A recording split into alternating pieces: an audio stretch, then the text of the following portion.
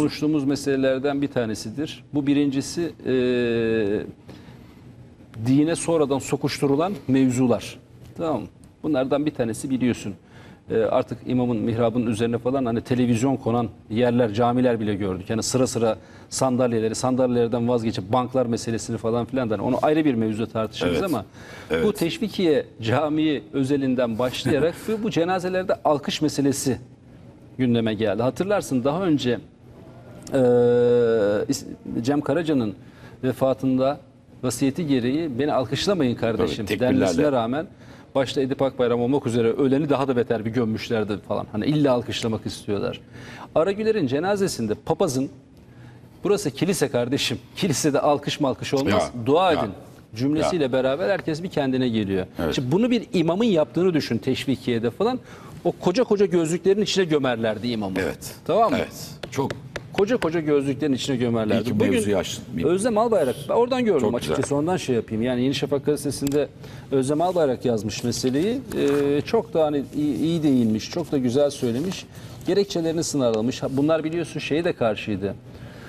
Her canlı ölümü tadacaktır. Ayeti kerimesinin Karacaahmet'te, evet. Büyük- Zincirlikuyu'da pardon. Zincirlikuyu'da. Zincirlikuyu'daki o Nasıl tabelasına da. falan diye. Tabii evet.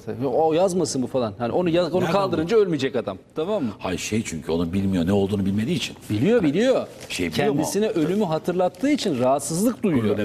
Kalksın o.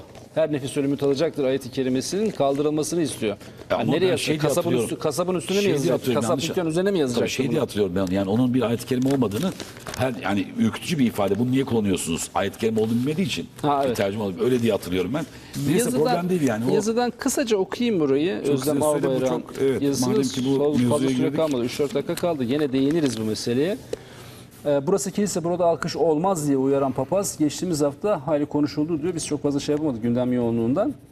Şunu söylüyor. inancı ve saygısı bulunan herkes tarafından homurdanarak yüz ekşitilerek geçiştirilen rahatsızlığın ilk kez bir din adamı tarafından ifade edilerek tescillenmiş olmasıydı. Bu saygıya davet uyarısı bir teşvikiye cenazesinde bir imam tarafından daha önce hiç dile getirilmedi ama zaten getirilseydi de o imam büyük ihtimalle lince uğrardı diyor. Hakikaten o koca Hakkında koca siyah soruşturma gözlüklerini başlardı. gömerlerdi imamı. Teşvikiye'den kalkan yazar çizer oyuncu sanatçı cenazelerinde gördüğümüzde hiç dile getirilmemiş olsa da toplumun bazı kesimleri tarafından yadırganan alkışlama eylemine gelince diyor iki farklı neden olduğuna düşünüyorum diyor. Birincisi de sekülerizm, sekülerizm anlayışı. Çünkü Cumhuriyet devrimlerindeki dini devlet işlerinden ayırma ilkesi bizde dini tamamen hayattan çıkarmak gerekliliği olarak algılandı. Öyle işlem gördü. Dolayısıyla bir cenazeye katılan ve merhumun ruhu için bir Fatiha okumayı kendine yakıştıramayan, bunu ontolojik bir çelişki gibi algılayan, bunu da ben ekliyorum ya da bir mahalle baskısına maruz kalmamak adına yapanlar e, a- a- ya da ilerici entelektüel manevi bir ortam olan cenaze içine düştüğü maneviyat boşluğunu alkış tutarak kapatmaya başladı diyor. Bence birincisi bu diyor.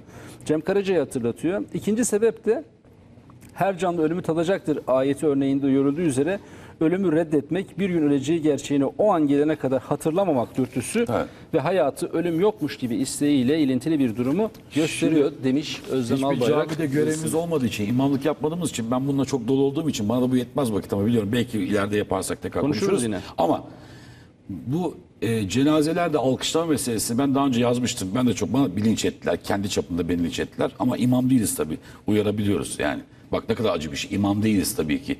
Bir cenaze namazında yani bir Müslümanın e, o onların diliyle ritüeli e, devam ederken bunun uygun olmadığını e, söyledim ben defalarca.